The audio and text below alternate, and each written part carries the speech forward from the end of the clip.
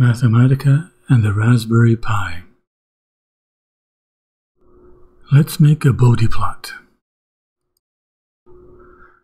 We simply define the equation using the basic math assistant. And then we call up the Bode plot function, drop in the name of the equation, and run it.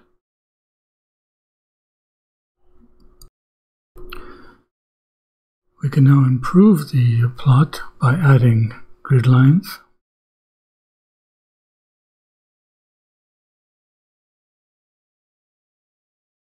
Plot labels.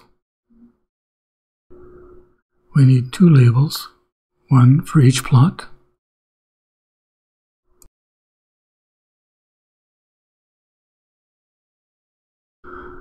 We need four frame labels, two for each plot one for the x-axis and one for the y-axis.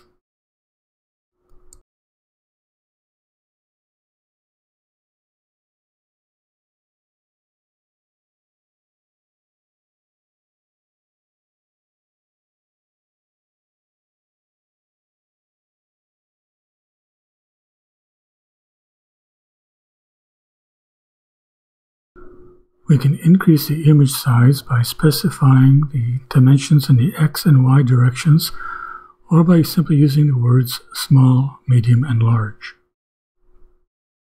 And there you have it, a Bode plot on Mathematica run on a Raspberry Pi.